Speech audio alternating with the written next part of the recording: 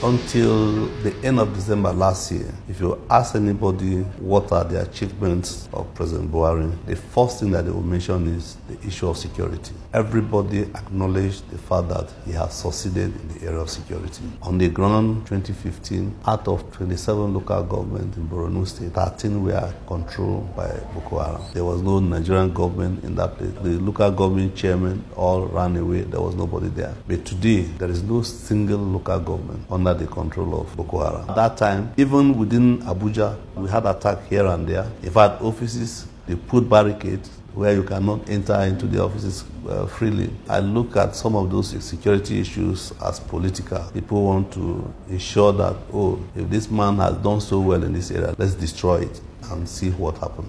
Let's make sure that he doesn't have anything to present.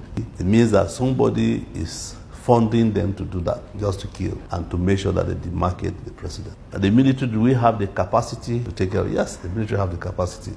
In some of the places where the military also was deployed to take care of security, there were some issues which were rather political. And we tried not to hit the polity. Most of the states where the military were deployed to take care of security, they did not support the military to even to be deployed there in the first instance. In some of the states where you hear a lot of cry, we went in, say, yes, we have the state law. Are you coming to help us to implement the law? We say, no, we don't come to help you to implement the law. We come to ensure that there's no more killings. From that moment, it was hostility against the military. And we find out also some of those places, we arrested some people that committed some infraction against other people in other places. We discovered that they were sent by some politicians to go and do that in another village. We have herdsmen who are not the normal herdsmen that have been moving around and those ones, they even attacked some military men who are deployed to stop them. But now there is an operation we call Operation Whirl Stroke. Was uh, launched on the 8th of May that take care of these Nasarawa states, Benue state, Taraba state, and Zamfara. These are the four states that look so difficult to ensure that things return back to normal like in states. So we brought in some special forces from all the services and with equipment, fighter jet that, that they use in areas where they have motorcycle so that they can also go into those remote areas that it is difficult to go in with uh, vehicles. And if you read through the news, a lot has been done to ensure that those people that they are using to destabilize the country are taken out completely.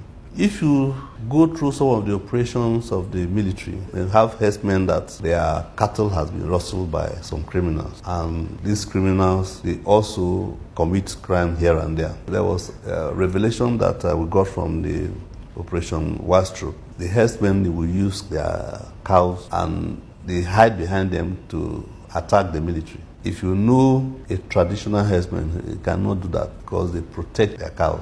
So what the military uh, does now, they take the cows and they take those uh, herdsmen. So I don't see them as the real herdsmen because no herdsman will want to do anything that will harm their livelihood. And when people are speaking politics when it comes to security, it's unfortunate. And that is why I have the feeling that some of these insecurity are politically motivated. We have our colleagues that are specially trained in such situations they will begin to follow them right into the villages. So the statement of political opposition or whatever is unfortunate, but we don't consider that as anything that should be used to judge the government of the day when it comes to security issues. The government has done so much, and each time there, there is situation that come in that are new, sit down and come up with strategies on how to counter it.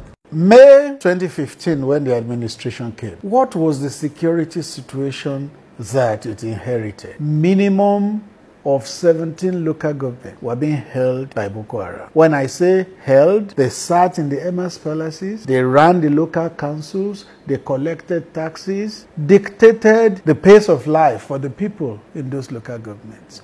Today, not one local government is in their grip. Then in 2015, Boko Haram was in Northwest, it was in Northeast, it was in North Central. It was about going into Southwest because it was already at Kogi. And then you saw the administration began to beat Boko Haram back chase them out of North Central, out of Northwest, out of Abuja, the seat of the Federation. And then Boko Haram became circumscribed in a small part of Northeast, Adamawa, Yobe, and. At a point, even Adamawa and Yobe were cleared. Only just occasional forays they made. And they were localized inside Sambisa forest. And we know what eventually happened to them there. So, as we speak, Boko Haram is scattered like sheep without shepherd. They are mixed with the civil population, and it's from there that they do those cowardly attacks once in a while. Comparing the status and situation of Boko Haram today with 2015 is like comparing heaven to hell.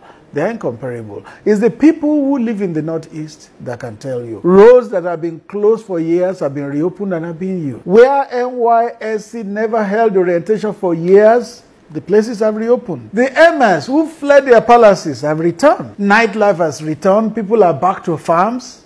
The difference is clear. So, in terms of security, the government has done well. But are there challenges? Yes, there are challenges. Particularly from the beginning of 2018, we have seen wanton killings in different parts of the country. Now, under the umbrella of farmers husband clashes, a lot of things have crept in. Hidden hostile hands have gone in there and they are trying to demarket the government. Anybody that believes that all those killings are farmers and herdsmen has another thing coming. A lot of things are hidden under that. But eventually, it will be sorted out. Our soldiers at that time were running away from Boko Haram because our soldiers were ill equipped to face the kind of weaponry the Boko Haram people were using. But then corruption continued. We saw private jets with pastors going to attempt to buy weapons in South Africa, but yet our soldiers were left ill equipped to where in different situations we saw them actually running away from the enemy. That was a very shameful time for Nigeria. There were a lot of things wrong then, and I'm glad we have President Muhammadu Buhari as our president. President Buhari, probably the greatest president of Nigeria. Can't think of anybody else that surpassed him from what we've seen so far. And that's why we need four plus four. We need him to complete what he started. We need him to clean out the rot. We inherited a system ad administration by which the national security actually had provided funding for political party in power. Money intended for procurement of weapons, aircraft, uniform and boots, you know, for our own soldiers was shared between politicians and taken home. All of that has changed now and a system of government to government procurement has been put in place. There is no longer that opportunity for procurement people to just uh, pocket money from the purchase of weapons. As it is now, the Nigerian army, whether they are serving in the multinational joint task force or serving from the various divisions of the Nigerian army that are confronting terror and criminality in parts of the country.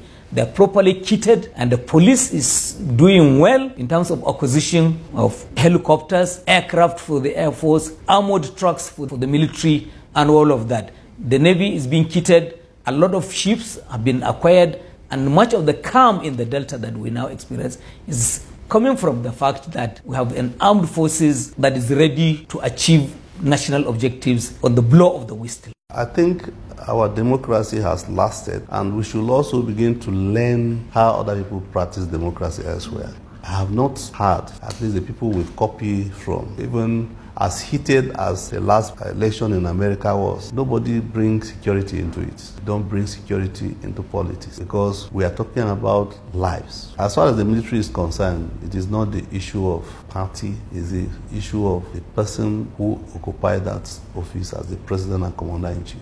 So our loyalty is to the nation, our loyalty is to, to the fact that democracy should survive, and we do that with our lives.